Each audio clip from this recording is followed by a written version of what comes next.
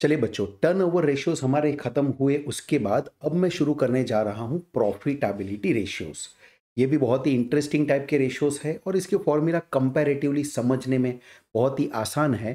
तो मुझे लगता है कि बहुत ही जल्दी प्रॉफिटेबिलिटी रेशियोज खत्म हो जाएँगे और फिर हम सम्स की शुरुआत करेंगे बच्चों। प्रॉफिटेबिलिटी रेशियो में अलग अलग टाइप की प्रॉफिटेबिलिटी है राइट सो so, उसमें सबसे पहला जो हम देखने वाले हैं वो है profitability on the basis of sales of the business इसमें आपका सबसे फेवरेट जो इलेवन ट्वेल्थ स्टैंडर्ड से ही कॉमर्स में आ रहा है। सबसे पहला है G P ratio we shortly call it always G P ratio the name is gross profit ratio gross profit ratio का फॉर्मूला समझाने की वैसे कोई ज़रूरत ही नहीं है आप सब ये जानते ही हो तो थोड़ा स्पीड में इसे देख लेंगे। GP ratio or gross profit ratio is a very simple ratio. The formula is gross profit, right, divided by net sales. You always put net sales because हमें सेल्स माइनस सेल्स रिटर्न भी कर देना है hundred in two hundred करना ना भूले क्योंकि GP ratio हमेशा बाय डिफ़ॉल्ट परसेंटेज में ही गिना जाता है नाउ ग्रॉस प्रॉफिट आप जानते हो ट्रेडिंग अकाउंट में जो आने वाला आपका प्रॉफिट होता है, उसे हम ग्रॉस प्रॉफिट कहते हैं। नेट सेल्स का मीनिंग वैसे आप जानते हो, फिर भी एक रिकॉर्ड के लिए यहाँ पे लिख देना बेटर रहेगा। नेट सेल्स का मतलब होता है बच्चों टोटल जो आपका सेल्स हुआ है, उसमें से आपको माइनस करना पड़ेगा सेल्स रिटर्न ये जैसे ही माइनस करोगे, जो बाकी का सेल्स बचेगा, वो आपका हो जाएगा नेट सेल्स वो आपका हो जाएगा नेट सेल्स तो देखिए बच्चों जीपी रेशियो का फॉर्मूला बन जाता है। इसका इंटरप्रिटेशन बहुत इजी है। It shows the trading profitability of the firm जो बिज़नेस की कोर एक्टिविटीज़ है, जो बिज़नेस की कोर एक्टिविटीज़ है, उसे ट्रेडिंग एक्टिविटीज़ कहते हैं। और उन बिज़नेस की कोर एक्टिविटी की वजह से आपके बिज़नेस को कितना प्रॉफिट हो रहा है। Day to day main activity direct activities की वजह से बिज़नेस को कितना प्रॉफिट हो रहा है, वो ये ग्रॉस प्रॉफिट आपको बताता है। Analysis regarding whether business in a particular inventory can be done or not मैं समझाता हूँ। मान लो आप चार पाँच अलग अलग आइटम्स बेचते हैं अपने शॉप में या अपने बिज़नेस में या मैन्युफैक्चर करते हैं। तो आइटम को मैन्युफैक्चर करते रहना चाहिए कि उसको डिसकंटिन्यू करना चाहिए, ये जानने के लिए उस आइटम का जीपी देखना चाहिए। उसका सेलिंग प्राइस माइनस उसका कॉस्ट ऑफ़ मैन्युफैक्चरिंग या कॉस्ट ऑफ़ गुड सोल्ड देखना चाहिए, जो कि ट्रेडिंग अकाउंट तक आता है, क्योंकि बाकी जो खर्चे हैं वो इनडायरेक्ट होते हैं। तो ब्रॉडली मैं यूँ कहना चाहूँगा कि सपोज़ अगर किसी बिज़नेस का नेट प्रॉफिट सिर्फ़ फाइव परसेंट आ रहा है, मान लो। लेकिन उसी बिज़नेस का अगर ग्रॉस प्रॉफिट आपका 45 परसेंट है तो मेरे हिसाब से बिज़नेस को कंटिन्यू करे या ना करे, ये डिसीज़न ये जो डिसीज़न है, वो लेना चाहिए आपको ग्रॉस प्रॉफिट के बेस पे, ना कि नेट प्रॉफिट के बेस पे। बिकॉज़ ये सिंपली क्या बताता है कि 45 का 5 परसेंट हुआ, यानी कि जो बैलेंस 40 परसेंट है, वो आपका इनडायरेक्ट खर्चों में चला गया है। अब इनडायरेक्ट खर्चे तो ऐसे भी होते हैं कि चाहे तो उसे कंट्रोल भी किया जा सके। बट ये बिज़नेस अच्छा बिज़नेस है, क्योंकि मेन एक्टिविटी से आपको 45 परसेंट का प्रॉफिट का रेशियो मिलता है which is actually a very good GP percentage तो I am sure GP ratio आपको बहुत ही ईजी लगा होगा। After GP ratio the next is net profit ratio क्या बोलूँ बच्चों, बहुत ही इजी है, आप जानते हो तो स्पीड में जाना ही बेटर रहेगा। इसको एन पी रेशियो या नेट प्रॉफिट रेशियो कहते हैं। इसके अंदर हमें फॉर्मूला में लिखना है net profit but always remember ये जो नेट प्रॉफिट होगा, वो हमेशा आफ्टर टैक्स होगा राइट टैक्स वैक्स सब कुछ कटने के बाद जो फाइनल प्रॉफिट बचा, हम उसी प्रॉफिट की बात करेंगे। So it is net profit ratio after net profit after tax divided by net sales divided by net sales into hundred ये करने से मुझे मिलेगा net profit ratio net profit ratio sales में से दोनों तरह के एक्सपेंडिचर डायरेक्ट एंड इनडायरेक्ट दोनों ही तरह के एक्सपेंडिचर माइनस हो जाने के बाद जो प्रॉफिट बचा है, उस प्रॉफिट का सेल्स के साथ रिलेशन जोड़ता है right so net profit ratio आपको फाइनली आपके सेल्स का कितना परसेंट आप अपने घर पे लेके जा सकते हो या कितना परसेंट आपके लिए प्रॉफिट बचता है, उसके बारे में बात करता है। नेट सेल्स का मीनिंग आप जानते ही हो, फिर भी ऑन रिकॉर्ड इसको लिख देना चाहिए तो ज़रूरी है। नेट सेल्स कैसे आएगा बच्चों? आपका जो टोटल सेल्स होगा, उसमें से आप माइनस करेंगे सेल्स रिटर्न के फिगर को। जो आपको मिलेगा, जो आपको मिलेगा उसे मैं कहूँगा नेट सेल्स। जो आपको मिलेगा, उसे मैं कहूँगा नेट सेल्स। तो it is sales minus sales return तो ये हमारा प्रॉफिटेबिलिटी ऑफ़ द फर्म आ गया after meeting all its expenses and tax remember tax बहुत ज़रूरी।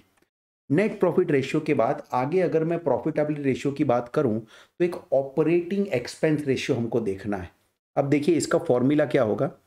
ऑपरेटिंग एक्सपेंस रेशियो प्लीज़ समझना, ये ऑपरेटिंग एक्सपेंस रेशियो है, इसको कभी कभी बुक वाले ओनली ऑपरेटिंग रेशियो भी कहते हैं। एक्सपेंस वर्ड का यूज़ नहीं करते, उसकी जगह पे क्या कहते हैं? ओनली ऑपरेटिंग रेशियो इसका जो फॉर्मूला होगा, वो है cost of goods sold plus operating expenses please समझिएगा। Divided by divided by sales into hundred अब सेल्स मतलब यहाँ पे भी आप नेट सेल्स ही समझिए। इंटू हंड्रेड जरा ध्यान से इसको समझने की हमें कोशिश करनी है बच्चों। इसमें हम सभी चीज़ों का मीनिंग भी समझते हैं। जैसे सी ओ जी एस जो कॉस्ट ऑफ़ गुड्स सोल्ड है, वो कैसे आएगा? तो इसके अंदर आप लेंगे opening stock of the goods जो ट्रेडिंग में होता है प्लस इसके अंदर आप करेंगे परचेज ऑफ़ द गुड्स और उसमें से माइनस करेंगे closing stock of the goods तो ये आपका कॉस्ट ऑफ़ गुड्स सोल्ड का पहला पॉइंट हो गया। ऑपरेटिंग एक्सपेंस क्या होता है? तो इतना याद रखना, ये ऑल इनडायरेक्ट एक्सपेंस आ जाएँगे, जो कि प्रॉफिट एंड लॉस के एक्सपेंस होते हैं। All indirect expenses right of of profit and loss account profit and loss account related to operating activity business का जो ऑपरेटिंग एक्टिविटी है right related to operating operating activity या operating activities but अब बराबर ध्यान रखना ये मैं कहना चाहता हूँ कि except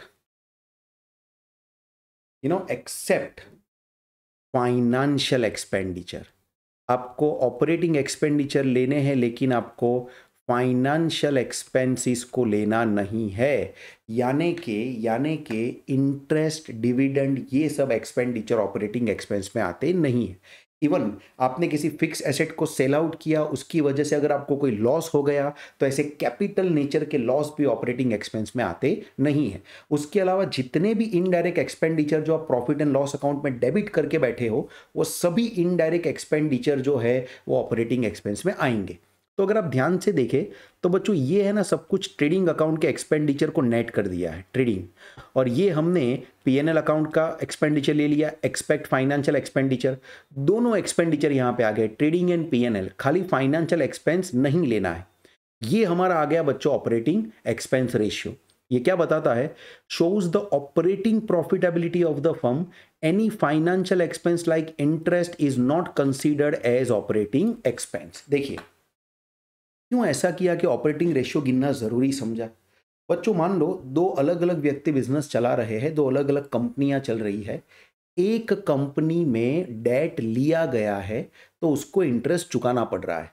एंड दूसरी कंपनी में ओनर खुद वेल्दी है तो ओनर अपने ही पैसों से बिज़नेस कर रहा है, उसको किसी तरह की कोई लोन लेनी नहीं पड़ी है। तो इन दोनों बिज़नेस की प्रॉफिटेबिलिटी को अगर आप कंपेयर करने जाओगे ना तो पहले वाला बिज़नेस जिसमें लोन ली गई है, उसकी प्रॉफिटेबिलिटी आपको कम दिखेगी। जिसमें लोन ली गई है, उसकी प्रॉफिटेबिलिटी आपको कम दिखेगी। लेकिन दूसरे बिज़नेस की जो ओनर खुद के पैसों पे बिज़नेस कर रहा था, उसकी प्रॉफिटेबिलिटी आपको ज़्यादा दिखेगी। तो यहाँ पे क्या इन दोनों को ऐसे कंपेयर करना सही है? द आंसर इज़ नो दोनों की एक्टिविटी का पावर क्या है? दोनों का अर्निंग पावर क्या है? इवन इंटरेस्ट भी तो पहले अर्न करके बाद में चुकाया जाता है ना बच्चों। तो दोनों का अर्निंग कैपेबिलिटी क्या है, वो देखना होना तो हमें एक बार ऐसा मान के चलना पड़ेगा कि अगर फ़र्स्ट बिज़नेस इंटरेस्ट नहीं चुकाता होता, अगर उसका कोई बोरोइंग्स नहीं होता तो उसका प्रॉफिट कितना होता right are you getting my point और इसलिए ही ऑपरेटिंग रेशियो काम आता है। ये किसी व्यक्ति ने फाइनेंस बाहर से बोरो किया है, किसी ने बोरो नहीं किया, सिर्फ़ ये एक रीज़न की वजह से अगर उन दोनों की प्रॉफिटेबिलिटी में फ़र्क आ रहा है तो उस एक रीज़न को साइड पे रख के हमें operating efficiency of the business गिनना चाहिए। क्योंकि डेट कैसी चीज़ है बच्चों डेट एक दिन वापस जब आप लौटा दोगे, फिर इंटरेस्ट का एक्सपेंडिचर आपका सेव होने वाला है। तो तब दोनों बिज़नेस लगभग सेम हो जाएँगे। हो सकता है इंटरेस्ट का एक्सपेंडिचर सेव होने के बाद ये पहला बिज़नेस है, वो दूसरे बिज़नेस से अच्छा प्रॉफिटेबिलिटी साबित करके दिखाए। तो ये बहुत ज़रूरी है देखना कि just because difference of financial structure था, उससे बिज़नेस की राइट अर्निंग कैपेसिटी मेजर नहीं कर सकते, इसलिए इंटरेस्ट वगैरह को एक बार साइड पे रख के भी आपको रियल अर्निंग कैपेसिटी नापनी चाहिए मेजर करनी चाहिए। इंटरेस्ट भी पहले कमाया जाता है, फिर चुकाया जाता है। तो डेट लेने के लिए भी हिम्मत चाहिए। डेट वही ले सकता है जिसमें डेट का इंटरेस्ट पे करने की हिम्मत हो, जो इतनी कमाई करने की ताकत रखता हो कि उसे भरोसा हो कि वो डेट का इंटरेस्ट चुका पाएगा, फिर भी अपने लिए कुछ बचा पाएगा राइट तो ये था ऑपरेटिंग एक्सपेंस रेशियो अब यहाँ पे आएगा operating profit ratio it is like you know two sides of a same coin देखिए मैं ऑपरेटिंग प्रॉफिट रेशियो यहाँ पे आपको लिख के बताता हूँ। Operating profit ratio operating profit ratio is equal to naturally आप जानते ही हो, ऊपर अपने लिए आ जाएगा operating profit right operating profit divided by नीचे की साइड नेचुरली मैं क्या कर दूँगा? नेट सेल्स कर दूँगा और इंटू हंड्रेड कितना easy operating profit divided by net sales into hundred but what about the operating profit ये ऑपरेटिंग प्रॉफिट की डेफिनेशन क्या? ऑपरेटिंग प्रॉफिट की डेफिनेशन क्या? तो operating profit operating profit is equal to हम क्या कहेंगे देखना बच्चों? सेल्स माइनस कर देंगे इसमें से ऑपरेटिंग एक्सपेंसेस। और ऑपरेटिंग एक्सपेंसेस क्या है, ये मैं आपको आगे बता चुका हूँ। फिर भी एक बार अगर लिखना चाहूँ, वापस बताना चाहूँ तो ऑपरेटिंग एक्सपेंस का मीनिंग आप जान चुके हो। Cost of good sold plus all indirect expense लेने हैं हमें। प्लस ऑल इनडायरेक्ट एक्सपेंस, लेकिन इसमें क्या नहीं लेना है वो भी आप एक बार रिकॉल कर लो। All indirect expense except, right? Except. Financial expense यानी कि फाइनेंशियल एक्सपेंस को छोड़ के हर तरह के indirect expense P N L के आपको ले लेने हैं, वो आपके ऑपरेटिंग एक्सपेंस में आ जाएगा। सो इट्स लाइक एक ही सिक्के की दो बाजू है। मान लो अगर मैं आपको यूँ कहता हूँ, मैं आपको यूँ कहता हूँ कि ऑपरेटिंग एक्सपेंस का जो रेशियो आया है बिज़नेस का ऑपरेटिंग एक्सपेंस का जो रेशियो आया है, वो 75 परसेंट आया है। तो सीधी सी बात समझ लो, आप यूँ लिख सकते हो कि ऑपरेटिंग प्रॉफिट का जो रेशियो आया होगा राइट हंड्रेड परसेंट में से 75 परसेंट अगर ऑपरेटिंग एक्सपेंस है तो बाकी का 25 परसेंट जो होगा, वो आपका ऑपरेटिंग प्रॉफिट होगा।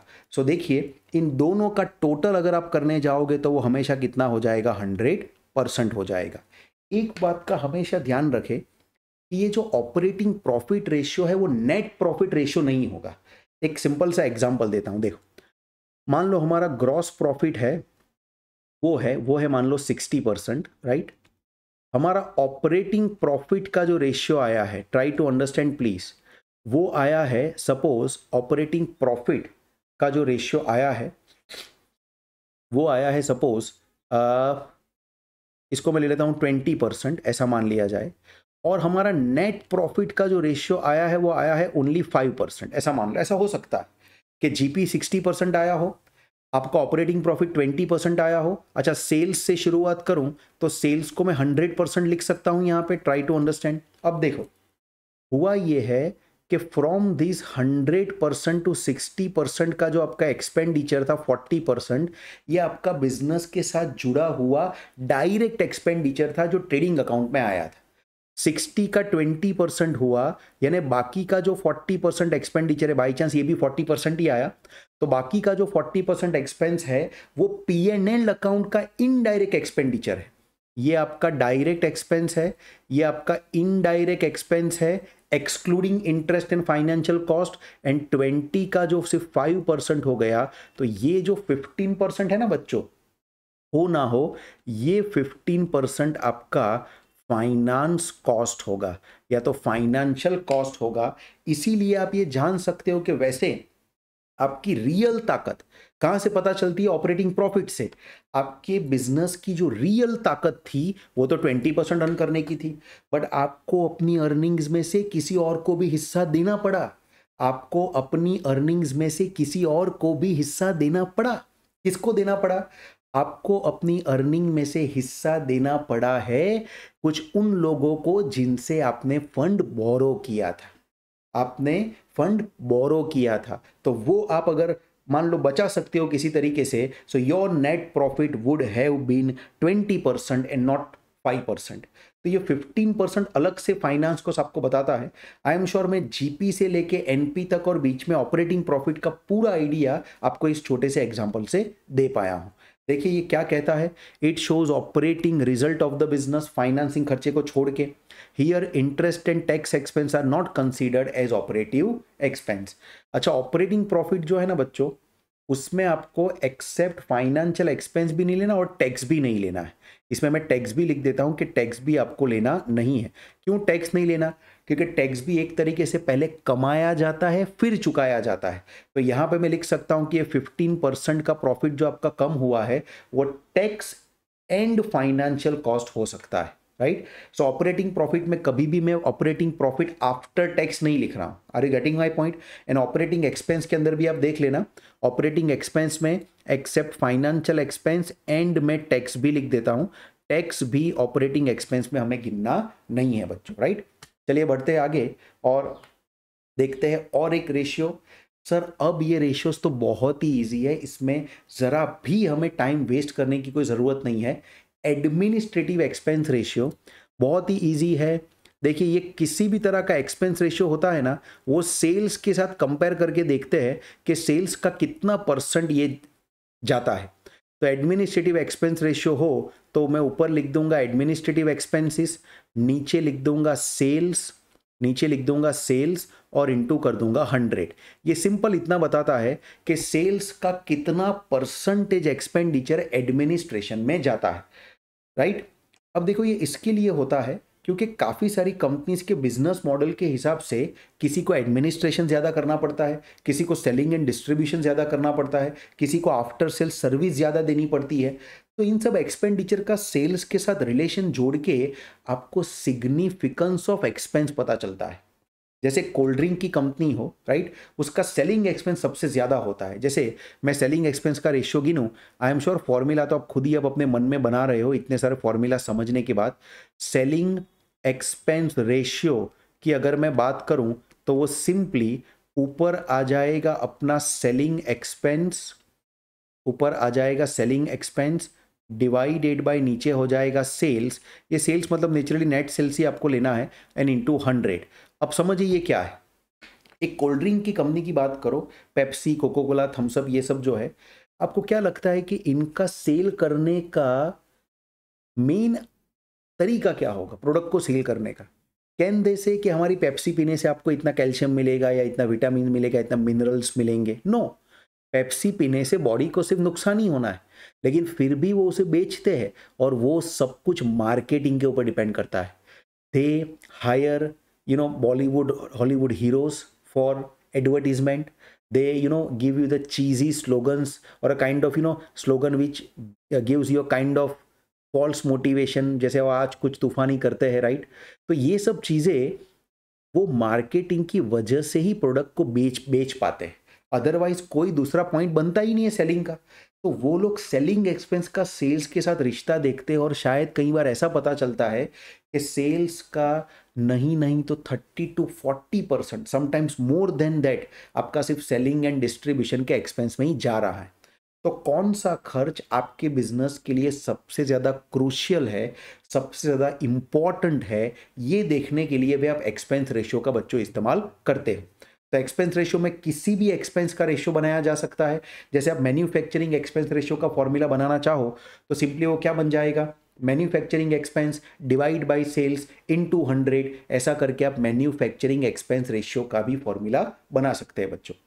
इसके बाद नेक्स्ट अब हमें जो देखना है, वो है profitability ratios related to the overall return on investment देखिए, इसके अंदर क्या आता है? सबसे पहले आने वाला है रिटर्न ऑन एसेट अब ध्यान देना, बच्चों फॉर्मूला बहुत काम के है। Return on assets is equal to हमारा ये हमेशा याद रखना, ये सभी रेशियोज हमेशा प्री टैक्स गिने जाते हैं।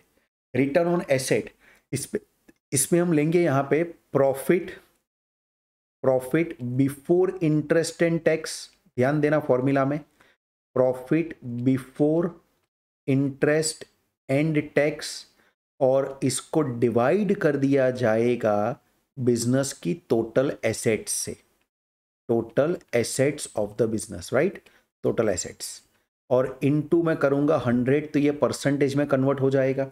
अब इसको अगर शॉर्ट में लिखा जाए तो शॉर्ट में याद रखने के लिए आप ऐसा भी याद रख सकते हो profit before interest and tax divided by T A means total asset into hundred अब यहाँ पे हमें ध्यान रखना है कि टोटल एसेट्स क्या लेनी है। अब इसमें एक्चुअली दो तरीके हैं, समझिए बच्चों। टोटल एसेट्स में कुछ नहीं बोला हो तो जनरली बुक्स में fix asset plus current asset को ले लिया जाता है। यानी कि पूरी की पूरी एसेट साइड को ले लिया जाता है fix asset plus current asset को। लेकिन कभी कभी अगर किसी क्वेश्चन में बोला हो और ज़रूरत पड़ जाए तो आप टोटल एसेट्स आप total assets is equal to you know fix asset plus working capital भी ले सकते हैं। बट जो मैंने वाइट लिखा है, वो आपका ज़्यादा चलेगा क्योंकि ज़्यादातर क्वेश्चन के अंदर total asset is equal to fix asset plus current asset ही लिया हुआ है। बट कभी कभी fix asset plus working capital भी लेना पड़ता है, अगर क्वेश्चन में ऐसी इंफॉर्मेशन है। जैसे मान लो, आपके क्वेश्चन में एक फिक्स एसेट दिया हो current asset and current liability की सेपरेट डिटेल ही ना हो। आपको डायरेक्ट वर्किंग कैपिटल का फिगर ही दे दिया हो। तो शायद आपको करंट एसेट्स अलग से मिलेगी ही नहीं। From only the figure of working capital and without having any information about the current liability no one can get the figure of current asset तो क्या होगा बच्चों, उस टाइम में आपको fix asset plus working capital के formula का use करना पड़ सकता है राइट रिटर्न ऑन एसेट क्या मेजर करता है बच्चों? सिंपल है। बिज़नेस की एसेट में आपने अच्छा खासा इन्वेस्टमेंट किया होता है तो उस बिज़नेस की एसेट से आप कितना परसेंट अर्न करते हो, कितना परसेंट आपको रिटर्न मिलता है, ये रिटर्न ऑन एसेट का फॉर्मूला आपको सिखाता है। एक और फॉर्मूला देखते हैं बच्चों, वो है रिटर्न ऑन इन्वेस्टमेंट मोर और लेस सबका इंटरप्रिटेशन लगभग लगभग एक जैसा ही होगा। चलिए रिटर्न ऑन इन्वेस्टमेंट का फॉर्मूला लिखते हैं। देखिए बच्चों, यहाँ पे भी आपको ऊपर लेना है profit before interest and tax हमेशा ये प्री टैक्स ही गिना जाता है जनरली एंड डिवाइड बाय हम करेंगे total investment total investment I hope you understand my point अब टोटल इन्वेस्टमेंट क्या होगा, ये भी मैं आपको लिख के दिखाता हूँ। देखिए टोटल इन्वेस्टमेंट जो होता है, वो आप दो तरीके से ले सकते हैं। कई बार टोटल इन्वेस्टमेंट जो है, वो लिया जाता है equity plus long term debt यानी खुद का पैसा प्लस बाहर वाले का पैसा इक्विटी लिया जाता है रिज़र्व सरप्लस भी आ गया प्लस इसमें प्रेफरेंस भी आ गया प्लस लॉन्ग टर्म डेट भी आ गया। एलटीडी मतलब लॉन्ग टर्म डेट और नेचुरली आप जानते हो इसमें से फिक्टिशियस एसेट अगर है तो वो तो माइनस करनी ही पड़ेगी। ये मैं लिखूं कि ना लिखूं, आपको हमेशा समझना है कि negative balance of any asset या negative balance of profit and loss account आपको माइनस करना ही पड़ेगा। या कई बार टोटल इन्वेस्टमेंट को ऐसे भी लिया जाता है, आप कहेंगे, सर, ऐसे क्यों दो दो फॉर्मूला दे के कन्फ्यूज़ कर रहे हो? सर अलग अलग बुक में अलग अलग तरीके के फॉर्मूला का इस्तेमाल किया ही गया है और हमारा सही काम होता है कौन सा फॉर्मूला बेस्ट चल रहा है उसको समझना। तो टोटल इन्वेस्टमेंट कई बार fix asset plus current asset की तरह भी लिया जाता है। अगर मान लो आप ये वाला इस्तेमाल करते हो टोटल एसेट बराबर फिक्स प्लस करंट एसेट तो आपका रिटर्न ऑन इन्वेस्टमेंट जो है वो रिटर्न ऑन एसेट से मैच कर जाएगा, क्योंकि दोनों का डिनोमिनेटर सेम हो जाएगा एंड दोनों का न्यूमरेटर तो सेम ही है बच्चों राइट लेकिन अगर आप ये लेते हो तो इसके बाद आने वाला एक फॉर्मूला है रिटर्न ऑन कैपिटल एम्प्लॉयड उसके साथ ये मैच कर जाएगा। एक चीज़ नोट कीजिए, ये जो फॉर्मूला है, वो हमेशा प्री टैक्स होता है। अगर किसी तरह आपको इसको पोस्ट टैक्स में कन्वर्ट करना ही हो तो आपको रिटर्न ऑन इन्वेस्टमेंट को क्या करना पड़ेगा? रिटर्न ऑन इन्वेस्टमेंट अगर किसी तरह आपको पोस्ट टैक्स लाना ही पड़े, या बुक में पूछा है कि पोस्ट टैक्स ही गिनो तो return on investment pre tax आपको ले लेना है और इनटू कर देना है one minus T one minus T में टी का मतलब क्या होगा? टैक्स रेट टी का मतलब क्या होगा बच्चों? टैक्स रेट तो इससे क्या होगा कि return on investment post tax लाने के लिए प्री टैक्स में से टैक्स कट जाएगा और आपको जो मिलेगा वो फिर पोस्ट टैक्स वाला रिटर्न ऑन इन्वेस्टमेंट मिल जाएगा राइट जैसे एक एग्जांपल देता हूँ। सपोज़ आपको जो टैक्स का रेट दिया है suppose in question the tax rate is given to be fifty percent right and आपका जो return on investment pre tax आ रहा है। सपोज़ आपका return on investment pre tax जो आ रहा है, वो थर्टी परसेंट आ रहा है। तो रिटर्न ऑन इन्वेस्टमेंट अगर आपको पोस्ट टैक्स गिनना हो तो सिंपली ये प्री टैक्स वाला जो फिगर है थर्टी परसेंट का राइट प्री टैक्स वाला जो फिगर है थर्टी परसेंट का, उसमें से मुझे टैक्स माइनस करना पड़ेगा तो वन माइनस पॉइंट फाइव होगा। That means fifty percent cut जाएगा फिफ्टी परसेंट बच जाएगा। सो so ये हो जाएगा थर्टी इंटू फिफ्टी परसेंट यानी कि यानी कि 15 परसेंट आपका rate of return on investment आ जाएगा पोस्ट टैक्स राइट तो सिंपली ध्यान रखना रिटर्न ऑन इन्वेस्टमेंट को पोस्ट टैक्स करने के लिए पहले गिनती तो रिटर्न ऑन इन्वेस्टमेंट की प्री टैक्स की ही करनी है और उसमें से माइनस कर देना है डायरेक्ट टैक्स का फिगर ये आपको क्या बताता है? ये आपको बताता है कि कितना परसेंटेज रिटर्न आपका टोटल इन्वेस्टमेंट के ऊपर होता है। तो अगर आप ये दूसरा वाला पॉइंट लोगे तो रिटर्न ऑन इन्वेस्टमेंट जो है, वो रिटर्न ऑन एसेट से मर्ज कर जाएगा। लेकिन अगर आप ये पहला वाला पॉइंट लेके टोटल इन्वेस्टमेंट गिनोगे, जो मैं पहले लिख रहा हूँ ना बच्चों, वो मैं अप्लाई करूँगा।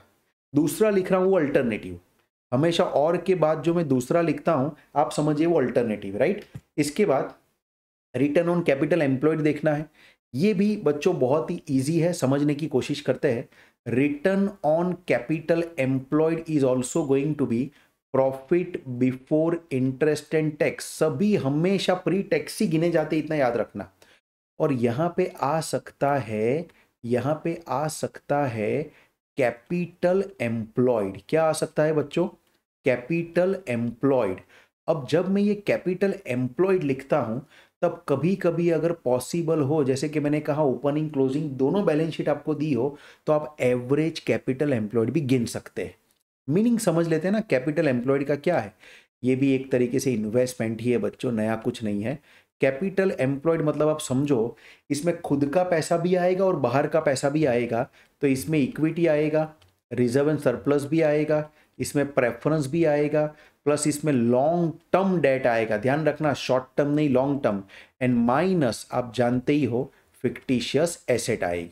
तो आप कहेंगे, सर, ये अगर लिया तो तो हमने जो अभी रिटर्न ऑन इन्वेस्टमेंट का फॉर्मूला देखा था, ये फ़र्स्ट वाला, वो और कैपिटल एम्प्लॉयड दोनों सेम हो गया। The answer is absolutely yes return on investment and return on capital employed same हो जाएगा, अगर आप कैपिटल एम्प्लॉयड का ये फिगर लेंगे। तो ज़्यादातर केस में बच्चों कहूँ 99 परसेंट केस में बुक में आप देखना, R O I N R O C E दोनों सेम ही बताया गया है। दोनों का फॉर्मूला सेम ही दिया गया है, क्योंकि दोनों का न्यूमरेटर एंड दोनों का डिनोमिनेटर दोनों ही सेम है बच्चों। इतना ध्यान रखना, खाली अपना पैसा नहीं, बाहर वालों का पैसा भी हमें लेना पड़ेगा कैपिटल एम्प्लॉयड ये ध्यान रखना बच्चों। क्या कहता है ये समझते हैं? रिटर्न ऑन कैपिटल एम्प्लॉयड ये सिखाता है that how much percentage are earned on the capital employed by the firm and capital employed included owners fund as well as borrowed fund ये मैं देख चुका हूँ and capital employed include only long term debt कहीं पे भी current liability को हमको ध्यान में लेना नहीं है ये चीज़ बच्चों बराबर याद रखना जब इसके सम्स गिनेंगे तब इसके बारे में हम आगे बात करेंगे अच्छा ये जो आया है वो प्री टैक्स आया है ये प्री टैक्स ही हमेशा गिना जाता है। बुक भी इसको प्री टैक्स ही गिनती है। लेकिन अगर पोस्ट टैक्स करना हो इसे, मान लो आपको पोस्ट टैक्स करना ही पड़ जाए तो आपको सिंपल क्या करना है आप जानते ही हो right return on capital employed जो प्री टैक्स वाला है, उसमें से आप वन माइनस टी कर दोगे टैक्स को काट दोगे तो आपका पोस्ट टैक्स का फिगर आपको मिल जाएगा बच्चों। तो ये भी एक तरीका है। लगभग तो पोस्ट टैक्स करना ही नहीं पड़ेगा, लेकिन अगर करना पड़े तो इस फॉर्मूला से ऐसे करना पड़ेगा। रिटर्न ऑन कैपिटल एम्प्लॉयड के बाद एक आता है रिटर्न ऑन नेट वर्थ इसको ज़रा ध्यान से समझिए। रिटर्न ऑन नेट वर्थ अब यहाँ पे profit before interest and tax नहीं आएगा। ये हमेशा टैक्स के बाद गिनने का रिवाज है। ये हमेशा पोस्ट टैक्स ही गिना जाता है और इसमें लिया जाता है प्रॉफिट आफ्टर टैक्स इसमें लिया जाता है profit after tax divided by किया जाता है बिज़नेस का नेट वर्थ अब ये नेट वर्थ क्या है, वो आप समझिए। पहले तो पी ए टी का भी पूरा नाम मैं यहाँ पे लिख देता हूँ। पी ए टी यानी कि ये हो जाएगा प्रॉफिट आफ्टर टैक्स क्या होगा बच्चों? प्रॉफिट आफ्टर टैक्स और नेट वर्थ बिज़नेस का कैसे आता है? इस चीज़ को भी जरा समझने की कोशिश करते हैं। नेट वर्थ मतलब आएगा इसमें equity plus preference plus reserve and surplus and जैसे कि आप जानते हो माइनस करूँगा मैं इसमें से अगर है कोई तो फिक्सटिशियस एसेट्स को। आई एम श्योर आप समझ रहे हो। अब देखो यहाँ पे बाहर वालों का पैसा नहीं है, यहाँ पे डेट का पैसा नहीं है और डेट का पैसा नहीं है, इसका मतलब कि ये सिर्फ़ और सिर्फ़ सिर्फ़ और सिर्फ़ ओनर्स फंड है, इतना ध्यान रखना। ये सिर्फ़ और सिर्फ़ ओनर्स फंड है, इतना ध्यान रखना। तो आई एम श्योर बच्चों, आपको बात अच्छे तरीके से समझ में आ रही होगी कि हमें नेट वर्थ में सिर्फ़ और सिर्फ़ ओनर का फंड लेना है और इसीलिए ऊपर न्यूमरेटर में से भी मैंने इंटरेस्ट को निकाल दिया है और टैक्स जो चुकाना था टैक्स वालों को भी निकाल दिया है। अब जो भी बचा है, वो सिर्फ़ ओनर का बचा है right return on net worth को और थोड़ा अगर मैं रिफाइन करूँ तो अब मुझे मिलता है रिटर्न ऑन इक्विटी देखिए रिटर्न ऑन इक्विटी का फॉर्मूला लिखता हूँ। आपको मालूम हो तो रिटर्न ऑन नेटवर्थ के अंदर हमने प्रेफरेंस को इंक्लूड किया था राइट लेकिन रिटर्न ऑन इक्विटी में से तो हम प्रेफरेंस को भी उड़ा देंगे क्योंकि खाली इक्विटी का रिटर्न है। इसमें आएगा profit after tax minus preference dividend क्योंकि प्रॉफिट में से टैक्स कटने के बाद जो प्रॉफिट बचता है, वो सीधा कोई इक्विटी शेयर होल्डर को नहीं मिल जाता। सीधा वो इक्विटी शेयर होल्डर को नहीं मिल जाता। उसमें से प्रेफरेंस डिविडेंड कट होता है। उसमें से प्रेफरेंस डिविडेंड कट होता है। तो मैं profit after tax minus preference dividend divided by यहाँ पे करूँगा सिर्फ़ और सिर्फ़ इक्विटी कैपिटल अब यहाँ पे इक्विटी कैपिटल का मीनिंग भी लिखता हूँ। इंटू हंड्रेड तो करना ही है परसेंटेज में आता है राइट देखिए, अब यहाँ पे जो इक्विटी कैपिटल आएगा ना, वो सिर्फ़ और सिर्फ़ प्योर इक्विटी ही होगा। ये जो है वो सिर्फ़ और सिर्फ़ प्योर इक्विटी होगा। सो इक्विटी कैपिटल का फिगर आएगा equity plus reserve and surplus. Preference मत लेना, प्रेफरेंस नहीं आएगा। माइनस नेचुरली फिक्टिशियस एसेट वगैरह इक्विटी के हिस्से में ही आता है, प्रेफरेंस के हिस्से में नहीं आता। तो इससे हम यहाँ से माइनस करेंगे। तो ये बच्चों हमारा रिटर्न ऑन इक्विटी ये भी बाय डिफ़ॉल्ट हमेशा पोस्ट टैक्स ही गिना जाता है। अब pre tax and post tax एक तरीके से यू नो एकेडमिक लाइफ में कस्टमरी तरीके से गिना जाता है तो जो चीज़ जैसे गिनी जाती है, वैसी ही सम्स में हमें गिननी पड़ेगी। इसलिए मैं आपको जो फॉर्मूला प्री टैक्स ज़्यादा फ़ेमस है, वो प्री टैक्स वाला लिखवा रहा हूँ एंड जो टैक्स पोस्ट टैक्स वाला ज़्यादा फ़ेमस है, वो मैं आपको पोस्ट टैक्स वाला बना के लिखवा रहा हूँ बच्चों। इसका इंटरप्रिटेशन पढ़ते एक बार। क्या है इसका इंटरप्रिटेशन ये कहता है how much percentage are earned on equity share holders fund equity वालों ने ओनर ने रियल ओनर कहूँगा मैं इसे। ये भी हमारे हो गए ओनर ही, लेकिन ओनर कैसे ओनर हो गए? रियल ओनर ओनली इक्विटी वाले ओनर हो गए। इसमें प्रेफरेंस वेफरेंस को जगह नहीं दी है राइट तो इक्विटी शेयर होल्डर के फंड के ऊपर कंपनी ने कितनी कमाई की, वो इससे पता चलता है। And it can also be computed on the base of paid up share capital only excluding reserve and surplus जो कि हम ये करने नहीं वाले। बट कुछ बुक्स में लिखा होता है कि खाली ये पेड अप कैपिटल के बेस पे भी गिना जा सकता है। बट जैसे मैंने कहा, हम तो हमेशा रिज़र्व एंड सरप्लस को ध्यान में लेंगे ही लेंगे। क्योंकि रिज़र्व एंड सरप्लस भी इक्विटी वालों का ही फंड है और वो इक्विटी वालों का फंड बिज़नेस में ही तो इन्वेस्ट हुआ है बच्चों राइट तो ये था रिटर्न ऑन इक्विटी परसेंटेज में आता है। आई एम श्योर आपको अच्छे तरीके से रिटर्न ऑन इक्विटी समझ में आया होगा बच्चों।